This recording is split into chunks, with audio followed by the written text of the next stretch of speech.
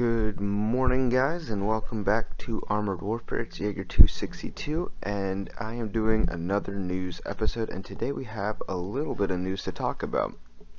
As you can see here, My.com and Armored Warfare are doing events for VE Day or Victory in Europe Day tomorrow, which is tomorrow, May 8th or May 9th, which is the date they have here. So here in the States, it's May 8th, but I don't know about the end of the Great Patriotic War, which is what the Soviets referred to World War II as. They might have ended it a day later when American forces actually met with Russian forces in the middle of Berlin. So they are running a couple of really good boosts and some deals are given premium time away for a lot of discounted prices, but I'll get into all that later. A new skin, new, well, not new commander, but new commander deals, I guess. Just little things here and there, some good, some just lame. What I really wanted to talk about is the Object 490.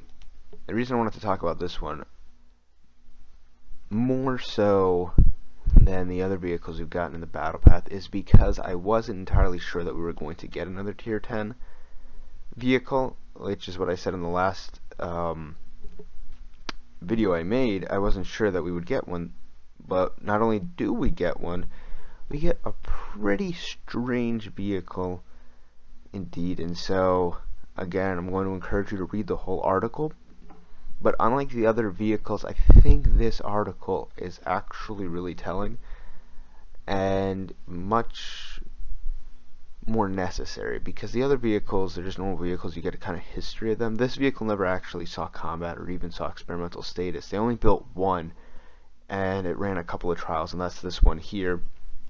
And it's just a hard vehicle to find any information on because the object 490 had two variations both of them only made it to the model stage and I think they actually built one up which is this picture here. And then the object 477 which was a different tank but under the same project type. And so there's limited resources on in fact the real the first real images of the 490A model and what would become just the 490 which is this one first surfaced in about 2015 so it was not so much it was just a secret project that on top of being a secret project in the 80s when it started, it just kind of got buried because it never really went anywhere. But it is a very cool and unique vehicle. And we're going to talk about just some interesting, interesting stuff. I mean, you can see here how the gun works. And when I get down to the bottom here and I talk about how it works in game, this is going to more closely resemble the Swedish Stridsvagn 103. So if you play World of Tanks, you know that is the main battle tank that has no turret. It's basically a fixed gun tank destroyer that uses pneumatic suspension to elevate and depress the gun. And this vehicle is a lot like that. So just some background, and I'll use this great cutout image they provided. This was started in 1980 and I think the first real test for it and the first real design of this particular vehicle was in 1982 and the idea was that the Russian military wanted to find a better way to protect its tank crews.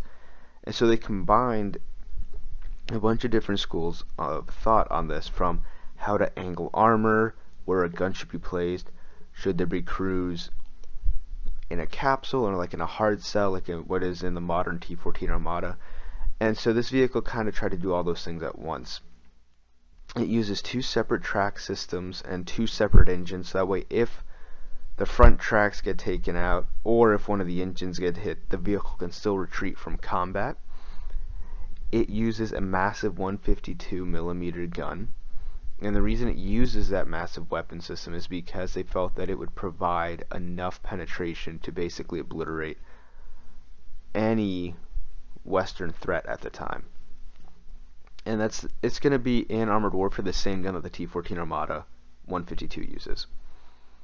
and so it's going to have 850 millimeters of penetration and I forget what the damage will be but that's the main reason why this is tier 10 is the gun anyway the reason it has such a strange shape beyond just having all that is as you can see here the crew which was a crew of three were in the very back of the vehicle and so if I go up here this is where the crew is housed right here under this slope and so the idea was that even if a shell penetrated this and was able to actually get through this angled armor, it'd have to go through all the the two engines here and then all the ammo here to get to the crew. Now, of course, in tank combat in real life, is if a shell makes it through the tank, especially where ammo is concerned, doesn't matter where the crew is they're going to die. But the idea was that penetrating this area frontally would be near impossible, and indeed it was, especially because the Sabot rounds or the, uran the depleted uranium rounds just couldn't punch through this armor angle not because it was thick. And the reason I said especially because is this whole vehicle was designed around the NATO 120 millimeter depleted uranium round. The Russians saw that as the biggest threat to vehicles at the time, given that they would have to face Western if they had to face Western vehicles in combat, that particular shell was the most dangerous. And so this whole vehicle was planned to negate that shell, and it does it quite well. Now, if we get down, get to just how it looks in the game, there's some really interesting aspects of the vehicle. For example, there is no elevation and no depression.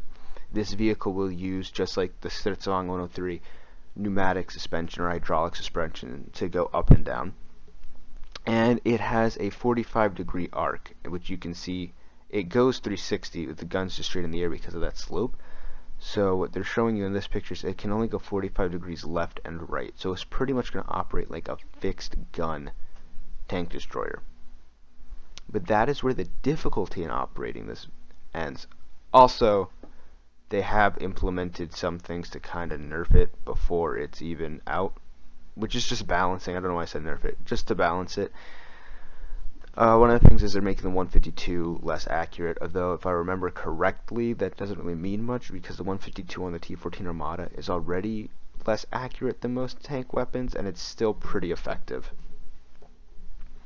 However, that is where the negative aspects of this vehicle kind of end, and it becomes sort of another type of super premium, like the Object 279 was when it first came out. The way that they designed it is that, and it talks to you about these characteristics here, is all of this will be easy to penetrate because it's just the side of the vehicle. And that's how they balanced it. Because they gave this 3, 3200, sorry, 3200 hit points which is the same as the Challenger ATDU at tier 10 and they made it so that way frontally it is the strongest tank in the game right now at tier 10 armor wise the only tank stronger than it is the Challenger 2 ATDU and that's only because it has thicker turret armor than this because this has an unmanned turret. But the reason that they don't really consider that a downside, and why I personally won't consider that a downside, is that unmanned turrets take way less damage. So I'm only looking at it based on hull, and hull-wise, what they say, because they won't release the numbers yet, is that this is going to be the thickest and most heavily armored vehicle at tier 10. Which is kind of crazy to think about. Now, if we look in here and it gives you a little bit more about what some of the other perks are, you'll notice that they have this experimental Soviet hard kill APS.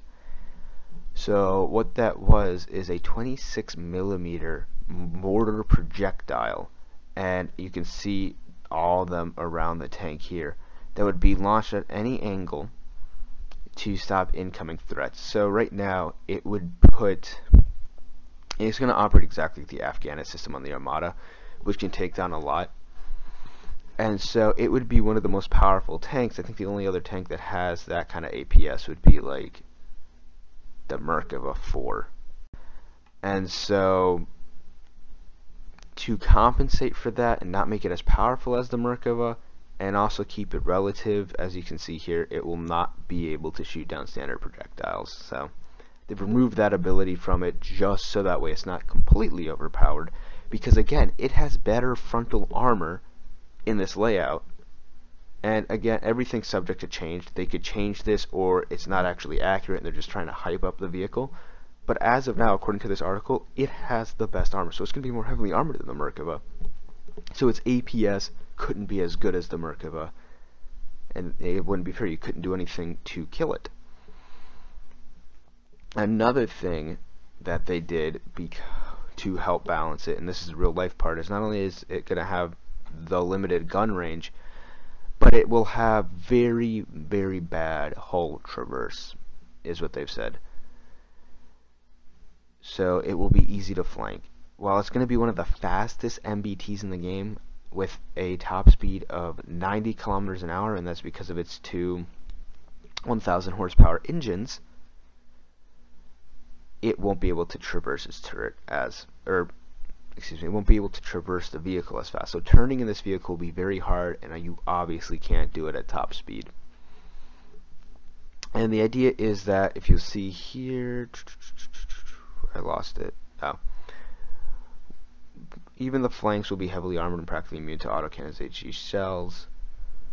And top-down missiles will not be able to penetrate the roof because of how heavy it is. However, if you do flank it, because that's going to be the only way to knock it out, which they say right here, how to knock this monster out. The only way to do it is to flank it, because while it's going to be super thick for all other vehicles, it's relatively thin for tier 10 MBTs and tier 10 tank destroyers, so you will be able to penetrate this, don't worry about it. But if you're in an AFV, or if you're in a T4, T15 Armata, and you're trying to flank it and fire like Pele rounds, or any other kind of autocannon around here at the back, it will not penetrate because they reinforced the roof, which is also why top-down missiles won't work. So this thing, for all intents and purposes, is completely impenetrable, except for in MBT versus MBT combat. So it's already really OP, and the 90 kilometer an hour top speed is ridiculous because if you'll see here, it has the same maximum forward and reverse speed, so you'll be able to run away from opponents relatively quickly.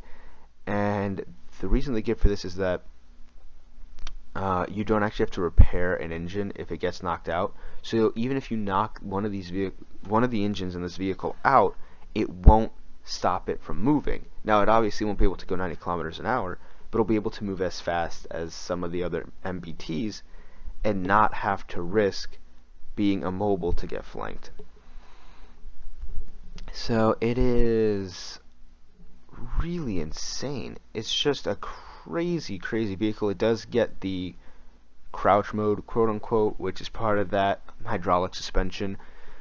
From, for example, it's used on Object 279. So while we do have other hydraulic suspension in the game, the Object 279 or the BMD series can lower their vehicles to the ground and that increases rate of fire and accuracy and lowers camo factor or raises camo factor rather because it lowers the profile of the vehicle.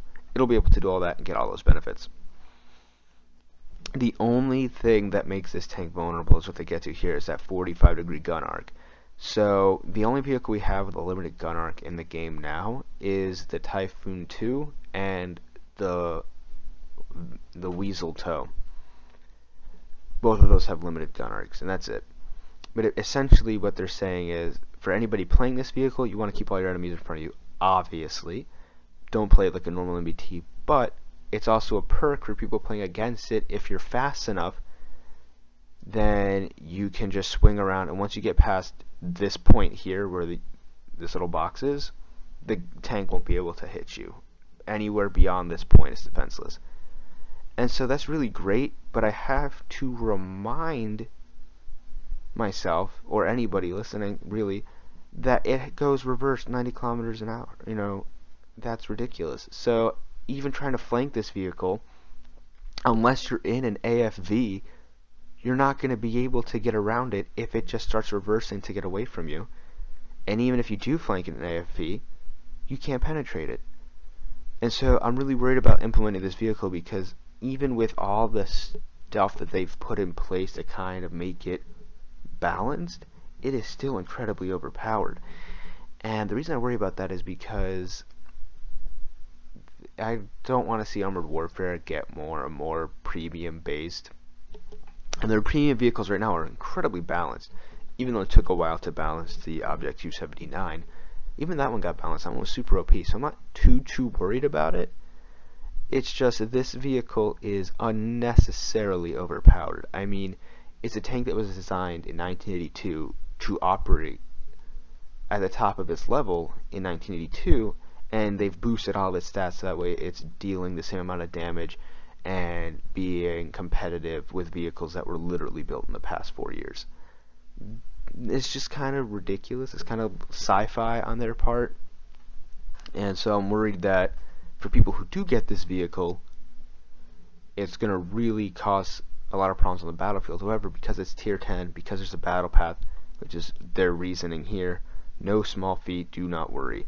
So the idea, just like with the Altay, they do not plan on a lot of people getting this vehicle and it's designed that way. And so my problem with that is instead of putting crazy OP vehicles into a battle pass system making them either impossible to get, which you saw with the Altay, uh, people spending hundreds of dollars to get it, why not just make balanced vehicles that are fun and you just unlock them throughout the course of a battle path? I don't get it. I mean, this vehicle's interesting. I definitely want one, but I don't think I'm going to try and get it uh, they made adjustments to the battle path mechanics in order to make it more convenient and fun.